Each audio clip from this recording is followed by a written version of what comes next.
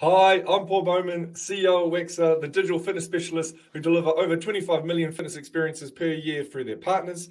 Welcome to the Wexer podcast, where I'll be speaking to industry experts to bring you insights and advice to support your business journeys. In today's episode, I'm, I'm excited about this one. I'll be chatting with Peter Moore from Integrity Square, a results driven financial and strategic advisory firm, as well as a host of a leading B2B podcast called Halo Talks. Peter, how are you? Great, man. Thanks for pumping me up, and I look forward to becoming an expert during and after the show. Appreciate that. You are. You've got too much experience not to be, unfortunately. I think the title has to follow through.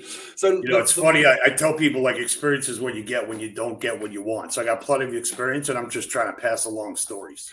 The, the, the bleeding edge. Yeah, that's what. So where I always start, and, and I think I don't think a lot of people know this about you. So, so maybe did I'm going to always do the did fitness find you or did you find fitness?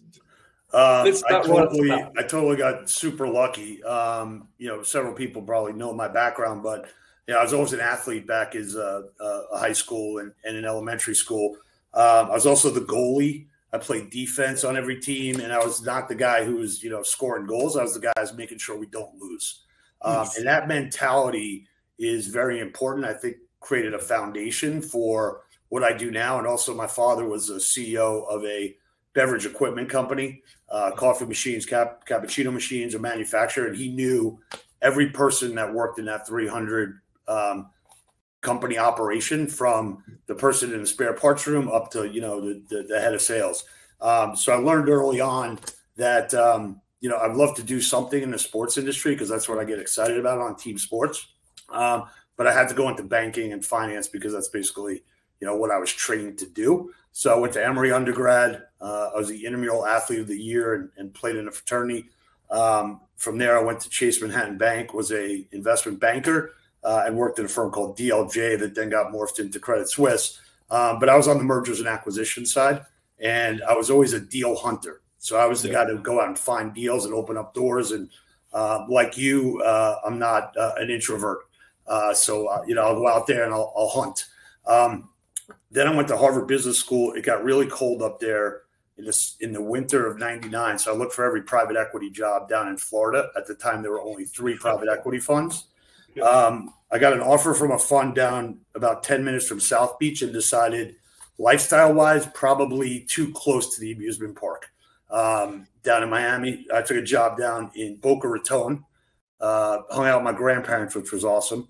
Um, there wasn't a robust financial community down there, but I wanted to to, to head south. Uh, so the first meeting that I went to at Brockway Moran in Mizner Park, uh, they were going through the deals that they had under letter of intent. Mm. Uh, so they had an aerospace parts company. They had a company that did the blue chemicals in the toilets of the airplanes. I'm hoping I'm not on either of those deals.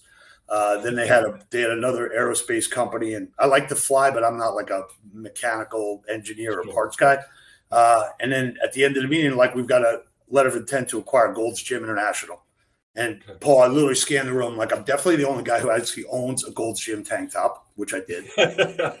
I had a health club membership, and I played sports basically throughout my life. So I raised my hand. I'm like, "Hey, can I be on the Gold's Gym deal?"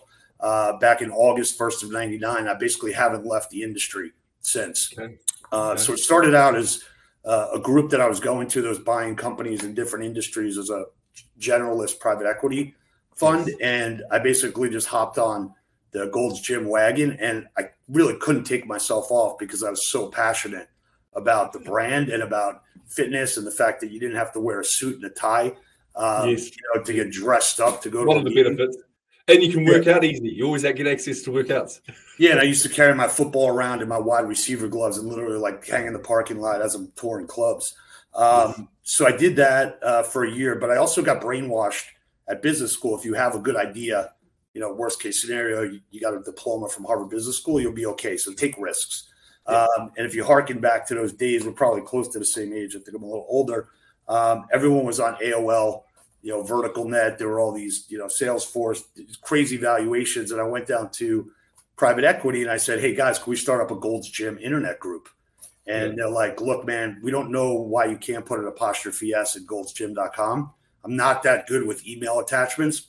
So you're 27 years old, like run the Excel model, help us with acquisitions. We didn't hire you to be the, the, the strategy guy. We hired you to do the work.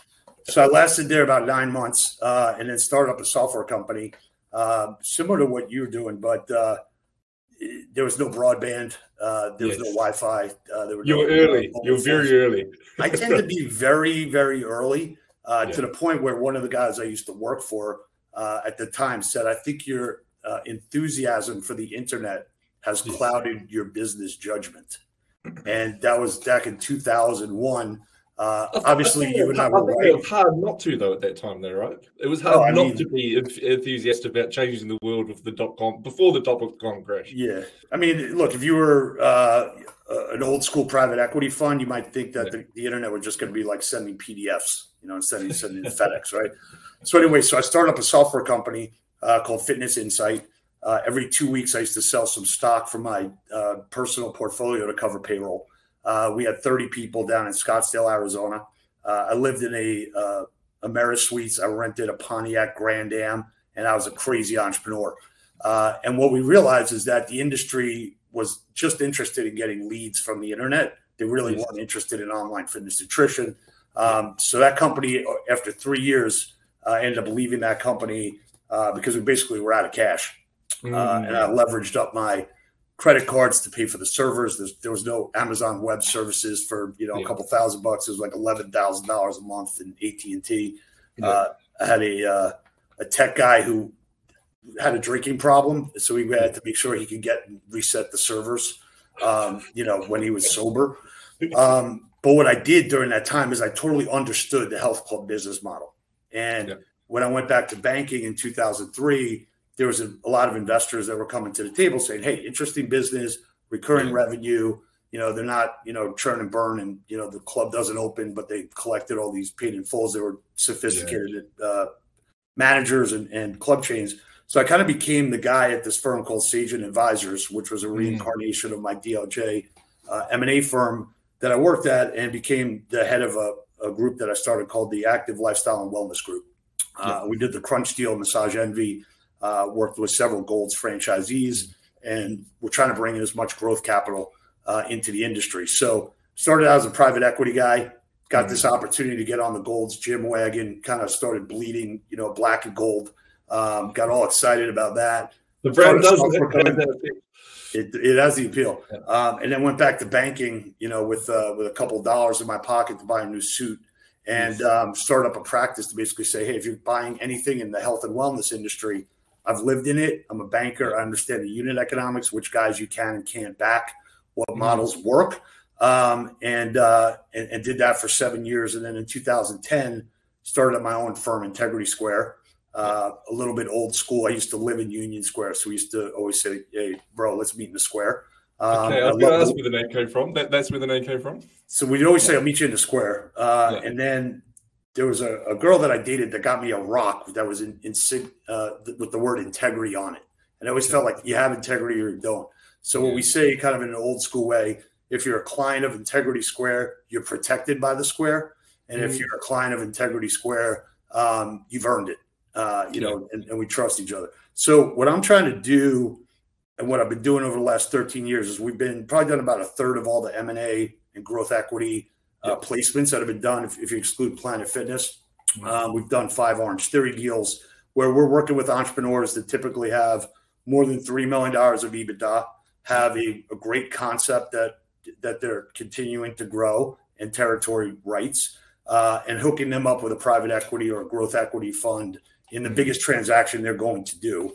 Uh, to take money off the table, stop signing personal guarantees on leases yeah. and on debt, um, and professionalize the business. And, so, what's the biggest challenges? So I'm going a little bit off script. But what are the biggest challenges there right now? Is is is there is there disconnects or is is there alignment when it comes to these entrepreneurs taking money and valuations? And you know, talk to me about that space. Yeah, so you know, long story short, if, if a club chain or a studio chain or, or, or a territory developer is not at or above pre-COVID levels, yeah. it's going to be very yeah. hard to convince an investor to pay a price that the entrepreneur or the seller group is willing to accept because they still have visions that it's going to get back there. The reality is that was two years ago. If your business isn't back, like that's kind of on you. Um, yes. And there, there are deals that are happening now. We just closed a deal with a group called Bailey's out of Jacksonville, which is 16 clubs that were sold to Chuze. Um, and in that deal, there was a, a, a, succession that needed to happen.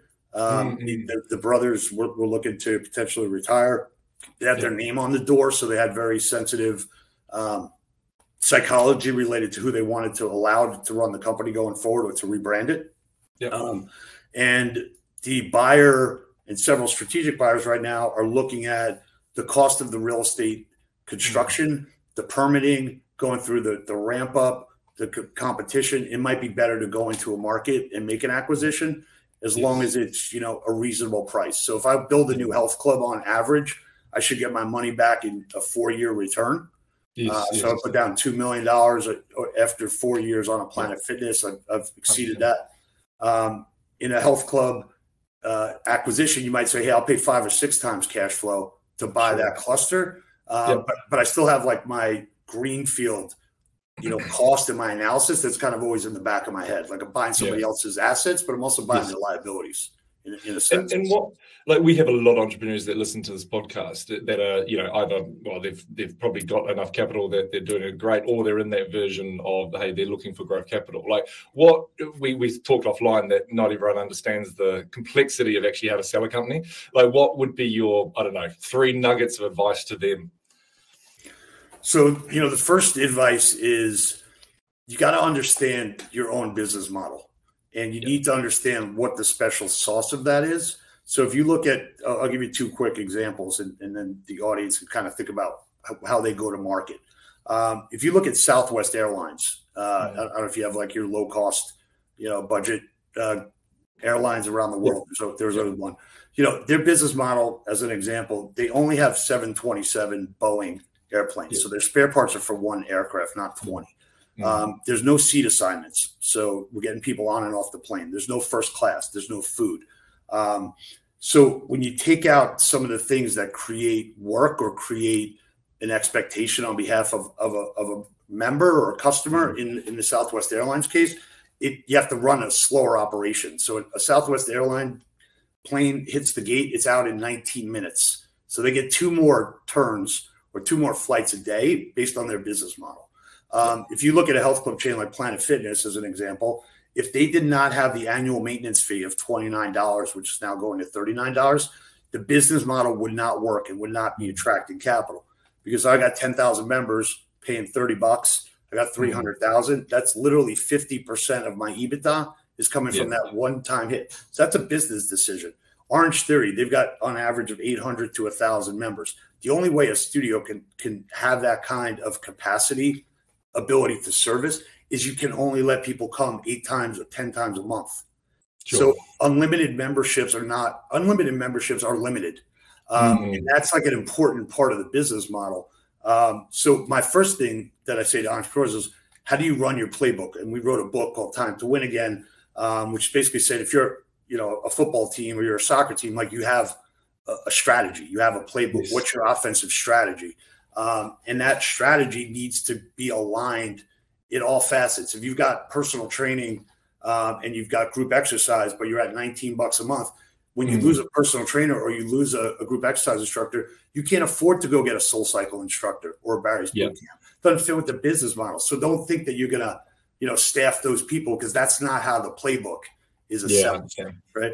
So I first say to, to people, look, figure out what your special sauce is, what the playbook is, and then you can articulate it and then show that to yeah. me in a unit economic model because it all comes down to unit economics when somebody wants to, you know, grow your business. Yeah. The second thing is don't come to me or anybody else and say, hey, I've got 10 clubs. Uh, the 11th club is the prototype. And that's the one I'm asking you to fund, right? That doesn't carry, carry any weight.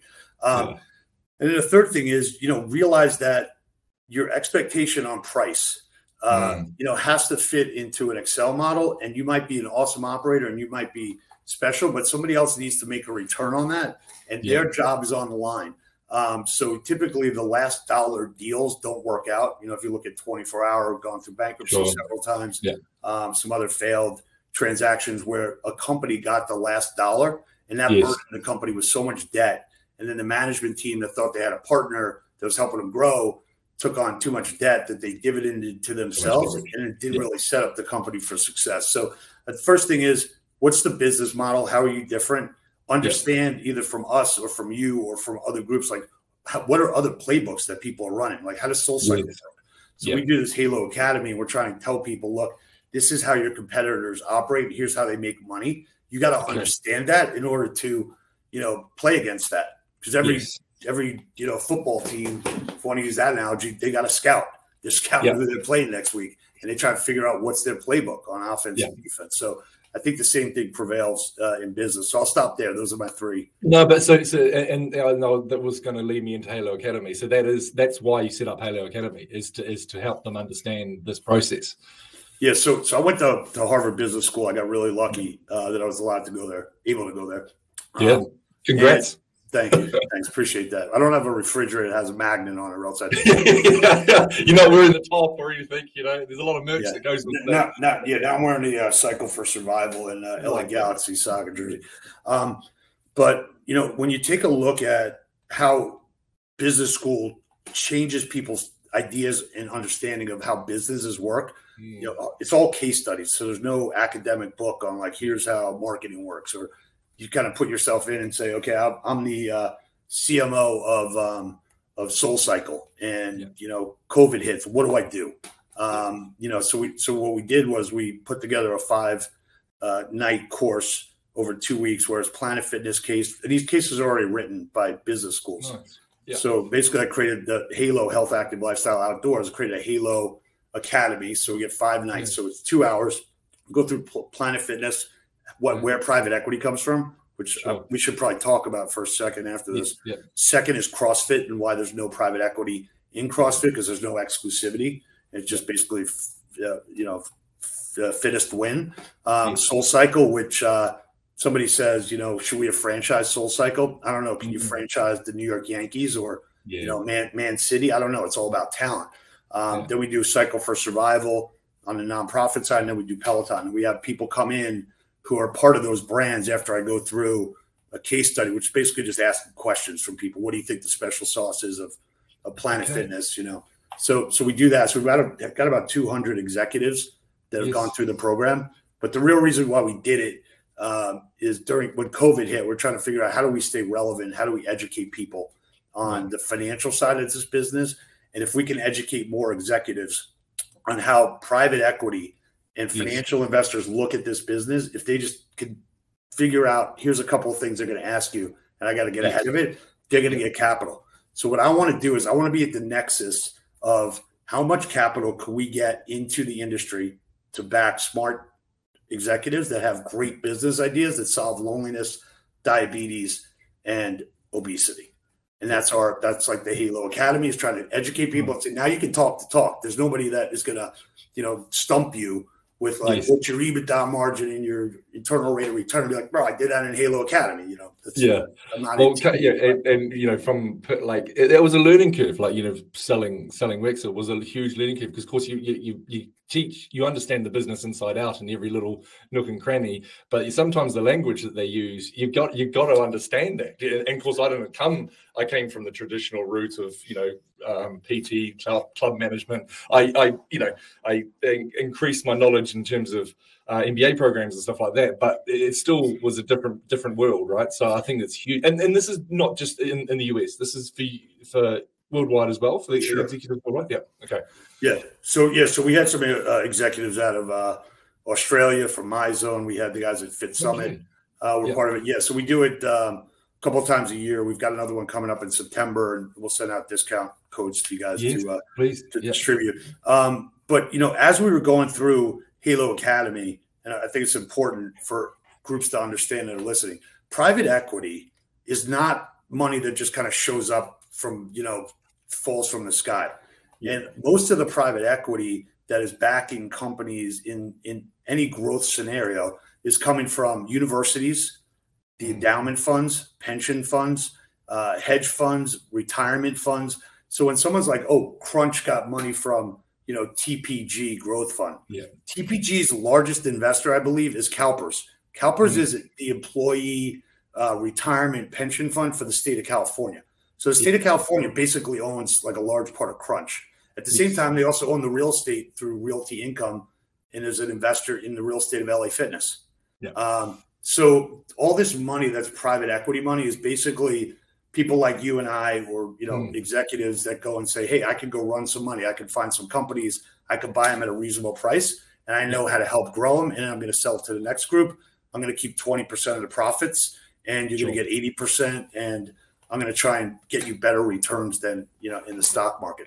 But when someone's like the big bad private equity guys or or females, like it's all money that's been given to them by like Harvard University and Columbia University and you know GM's you know pension fund. So yeah. it's not it's not dirty money. It's not bad money. It's a no. Yeah, I get. And then and then like moving to towards consolidation, like like of course hot topic at the moment in terms of uh, where a lot of businesses are at, and some some are some are doing well. So t- taking the view of uh, you know let's call it roll ups. Like what what's what's your view at the mo- on, on that at the moment? Yeah, do you still you still have me on? Yep. Yeah. yeah. Great. Okay. I got this go live button that just turned, came back on for some reason. We're good. Oh, hit it again. It's still good. It's still good. It's still good on my side at least. We'll clip this out. Um, yeah. So look, there, there's definitely consolidation that's going to happen, but you've got two levels of, of consolidation. One is a group that wants to go into a market. It says, as I said before, it's better for us to buy, establish ourselves, and then go build our prototype model around it, and then renovate whatever the clubs that we bought.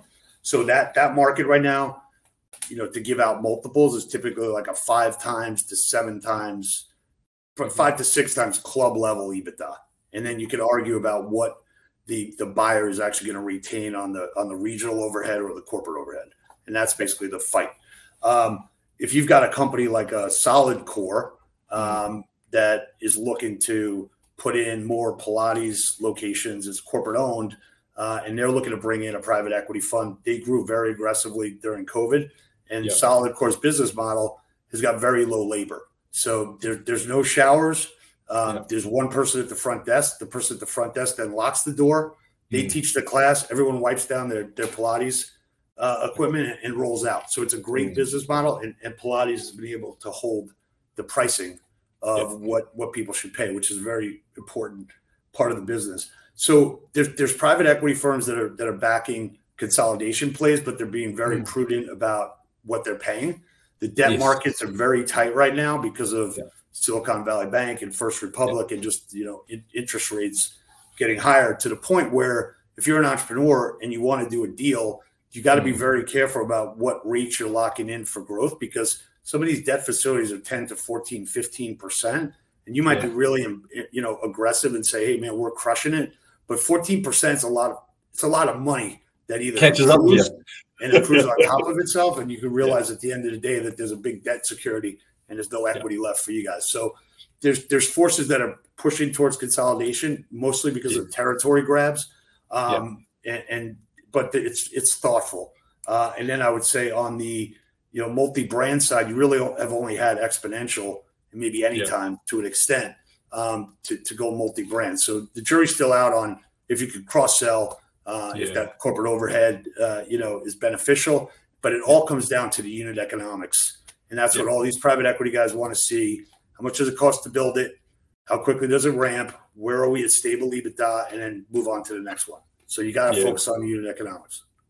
And, and uh, great advice. What, what, and then how? What's your view? I guess from your point of view, and also private equity's point of view, in terms of the hybrid. Is is, is it is it something that they believe in, or is it something as a general thought, or is it more not not not a proven case yet in terms of you know essentially being relevant to members all the time? So making sure you're taking that attention span. So we we worked with one of your um, smaller competitors during COVID to, yep. to raise capital. Uh, okay. And the, the issue that we raised a small amount of capital for them, but a couple of takeaways from that process yeah. was the usage inside the clubs was so low that it wasn't mission critical. Um, and it could be pulled out without pissing off too many members. So one of the groups, and this goes back to 20 years ago when I was running my software company, yeah. You know, I found out that if you don't go into the clubs, put your own signage up, educate the people, maybe even have one of your own people in there. You, know, yeah. you, got you got to spend the money in that because you have yeah. people on the ground. So I think hybridization should mm. work, but it has to come with a playbook that yeah. is important to everyone, and also they need to be compensated on it. It needs to be part of the P and L, and it, has got to be part of the the the workout and like the DNA of, of the club. Yeah, so, Paul, I don't want you in here seven days a week. Okay, I love you. You're great hanging, dude, but you know you take up space and your body's not set up for like you're not you're not a, a professional athlete, right? no, so no you don't need to do that. Yeah. So why don't you come in here three days a week? Why don't you take yeah. this one group exercise class? Why don't you do these two stretching classes, you know, online uh, after the workouts? And why don't you do on Friday? Why don't you do this group walk that we have, or why don't you go do this yeah. boot camp that we're doing? Uh, so I feel like it has to be part of the prescription, and the only way it becomes part of the prescription is if you get buy-in from the general manager, this head of sales, everyone understands, hey, this hybridization actually gives us the ability to communicate and have a relationship with people. Yeah. And yeah. it also creates intelligence of yes. how people are acting. So I said this kind of as a joke at this LA Fitness Connected Fitness conference about four months ago. Someone's like, "What's the future of fitness?" I'm like, first of all, there's all these AI companies here. Okay, mm. let me just let's just get this straight. I kind of lean in and I go like this. You can't. I go. I go like this. You can't have artificial intelligence until you have intelligence. So, so go back and fill out in the member management systems and yes. all these information like what makes these people tick. And some of the examples I gave was when I was 12 years old, I was I told you I played soccer. I was mm. the goalie. Okay. The reason why I was the goalie is because I was chubby and my dad let me go into his change machine and I used to buy shit from the ice cream man and put it under my bed and eat it late at night with fun dip. you know, candy cigarettes, Twizzlers and, and Big League Chew gum, which had, right. I don't even think they told you how much sugar was on it because it was like 80%. Yes, yeah. So I used to have to shop with my mom at a place at Sears called the Husky Department, which they have now banned the use of that term because it probably fucked up a lot of kids. So I so if somebody wants to motivate me, they got to know that Pete Moore never wants to go back to the Husky department to buy elastic jeans, right? right. That's a trigger point for me. They also need to know that I played uh, high school basketball. And I, uh, my ninth grade coach who yelled at me all the time, I went up to him. I said, Coach K, why are you yelling at me all the time? He's like, You should come up to me when I don't yell at you because I think you can be better and I'm going to make you better. So if there's a personal trainer or group exercise and there's like a hard ass instructor, somebody's got to know, Pete, you'll like this class. Like these guys going to yeah. yell at you like it's a boot camp. It's not like, yes. you know, like woke and like we're not keeping track of anything. Um, so, so my point is, if you don't know this information, or you don't know that somebody's getting married in four months, or you don't know that somebody just got divorced, or you don't know that yeah. there's an, an, event planner that that lived that is one of your best members, like get all that information and then let's use it. And in a hybrid, I feel like, is a way to just kind of like own the member inside and outside the club, but yeah, do yeah, it, do it naturally.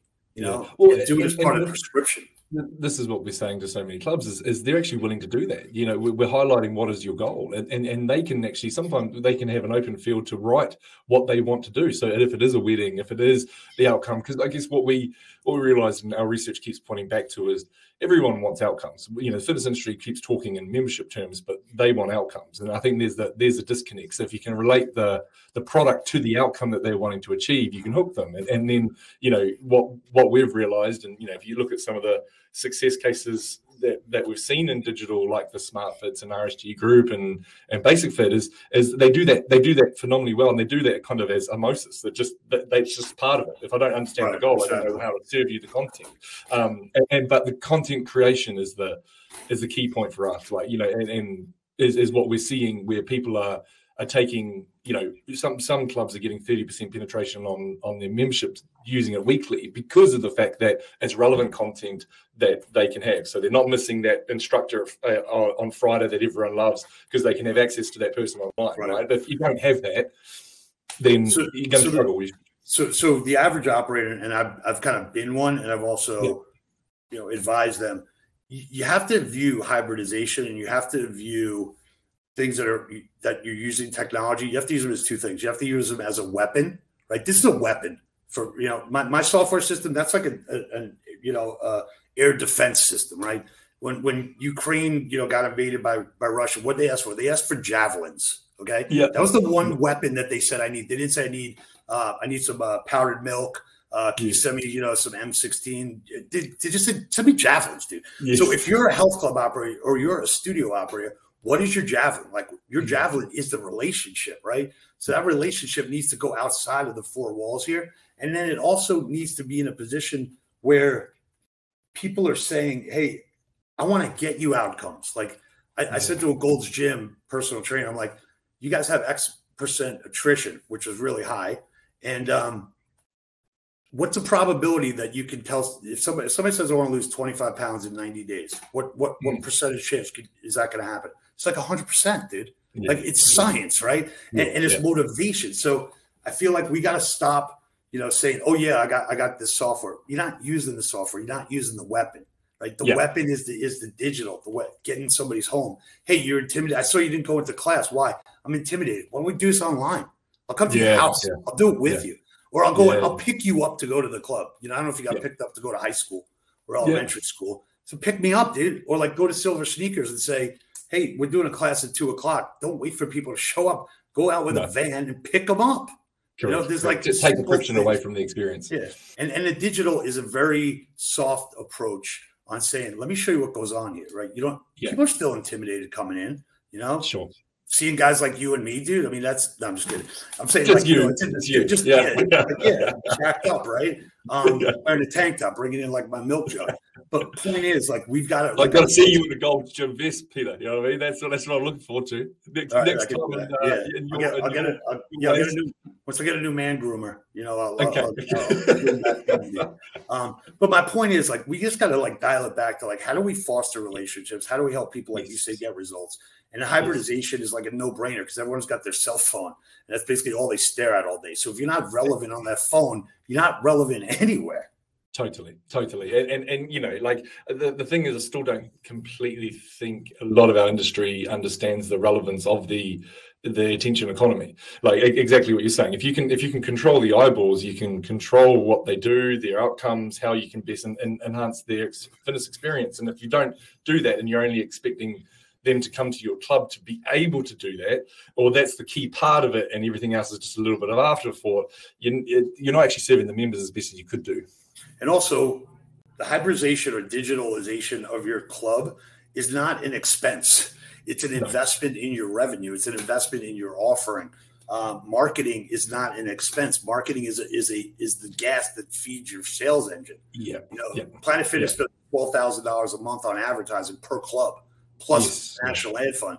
You go to any other club chain, they're spending like a third to half of that, and they don't realize that like there's a there's a volume machine going on here that spends money on keeping that thing going like that. If you don't do that, then you can't run that business model. Yeah, like yeah. That, well, like if, if, I took if I took like a subsection of our most our top ten clients, they all see it as a marketing CAC activity um, more than they see it as a you know. And some of them, of course, saw it as especially the, you know the Peloton growth days as hey, we could also play in the same space. But it's it's you know yeah, you can play in the same space. You you got to compete in the same way. Like what it's your point. What is your secret sauce? But the the secret sauce that the clubs have is the physical experience, which is the best experience, and it's how do you support that to to, to to be the best combined experience is where our industry can really do great things. Look, you go into certain clubs and, and people are walking to the front desk and they're and they're saying, Hey Paul, man, good to see you this morning. You know, what are you trying to achieve today? That's awesome. Right. Yeah. There are others that, that, that just have like they're you're down with their phone. Yeah, checks in, right? So yeah. if you, you you're paying rent in order to establish a personal and physical relationship with someone, yeah. don't think that you're like disadvantaged because you don't have um, you know, just a, a, corporate office and servers, you know, you know, like Peloton. Like people want, and also the, the hybridization allows you to micro target. Like if I do Soul Cycle class, like I do it with Sumner, I do it with Mantis, I do it with Jadis. They're not on the Soul Cycle um, no. bike digital. App. Why not, dude? Yes, Why would you not rip ten videos so I can work with them? So if you think about all the clubs that are out there, and you talk about content creation basically each one of these, you know, evangelists or group exercise instructors is, is responsible for 50 to 250 of your members. Yeah, give them a little bit of, you know, give them a little bit of showtime and yes, realize that they can, if you're going to interact, I don't want you doing Instagram live. I don't want you doing Facebook. I want you doing yeah. it here and I'm going to compensate. Yeah, yeah. Well, I think, I think a big reason why we ended up starting Wexer was, you know, in, my, in the Gymbox days, is that we realized that you know we would average what three thousand members in those clubs, but a thousand members were affiliated to three trainers. And then when we actually dissected those three trainers, those three trainers were only doing one session a week. So essentially, we're pissing off you know a lot of members every single time because they couldn't get access to that person. So it was like you know the, and, and i think i think that's the huge covid shift from our point of view as well. I don't know if you've seen that is that you know a lot of those trainers that probably didn't realize they had that power have now realized that power because they got forced to realize that power in terms of either creating their own platforms being part of uh, the platform within a club you know and doing all those stuff. Because you know th- this is the I think the a lot of the missing links when you talk about usage as well is you know those influencers or group exercise instructors or whatever you want to call them, they have to be in the cut of improving this whole platform. You know, if they're the ones that are sharing it on their social media, sometimes that's more powerful than you know the generic brand's social media. So, um, just to your point, to your point on that, so I don't lose my train of thought. Sorry, these group exercise instructors and personal trainers, they, this is the one way that they can actually scale their business right? Yeah, so how yeah. is there not full alignment in you know, hey, let's get people online. I'm not taking them from you. I'm giving you the ability no. to like multiply the amount of you know, yeah, uh, well, the, relationships and building. You know. Yeah, I, I, I, I, don't know if you saw that a lot of people were repeating back the Disney stats to me. So they took away just take away Disney Plus altogether, but they they kind of did an article based off how much people engage with content after they see the parks. Um, and it's a direct correlation to our industry. So they literally, you know, say, say you watch Iron Man videos, you go see Iron Man you, you get inspired by seeing Iron Man, then you watch him about 50, percent more. And it's exactly the same. If you're watching mm. that person and then you're going to see that person, you're going to engage with the content more. It's a great cycle to have for us to improve the life of those people. So, look, we, uh, you know, I feel like we could do like a part two of this podcast, but I, I want to keep this short because, you know, yeah, let's keep going.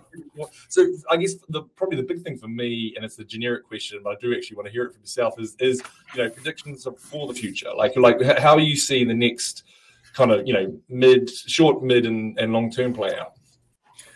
Yeah, look, from I think, uh, from yeah, from a capital standpoint, you know, I think there's going to be further to you know segmentation, and there's going to be winners in each category. So you got Planet. Fitness that is going to win. You got su- super regional chains in the U.S. that are going to become 100 to 200 uh, club locations. And what I think they're they're going to do is they're going to listen and figure out from the studio concepts what's mm-hmm. actually drawing some of their members away, like workout recovery.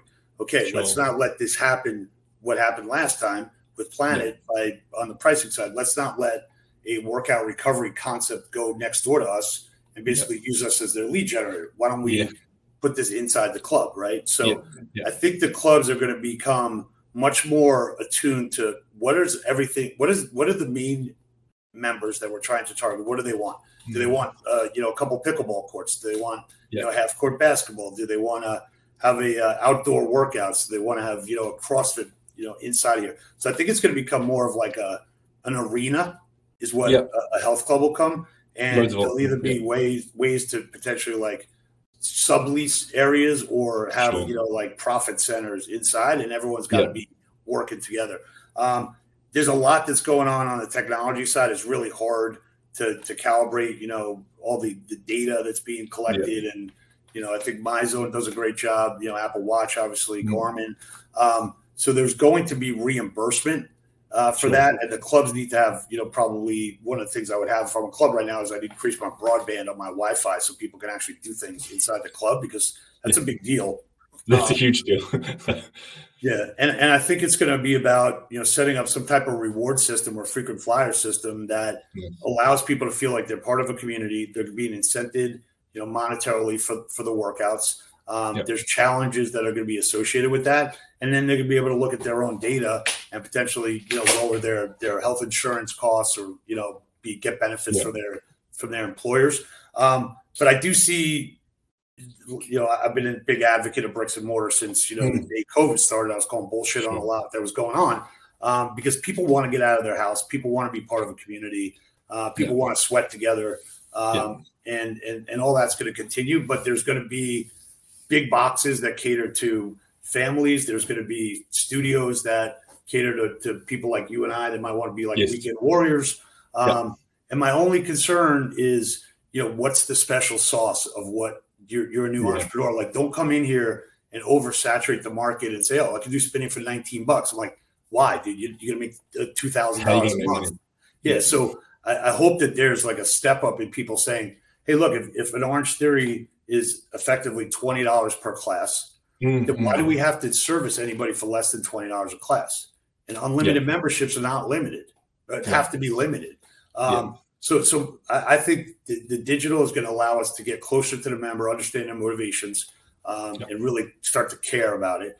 Because if, if we're losing forty percent, I did this at a, at a show if you're at 40% um, attrition or people that are mm-hmm. exiting your facility, you're basically between a lap band surgery and like yeah. gastrointestinal like percentage of success, right? There's no way we shouldn't be like 80, 85% if people totally care. Good.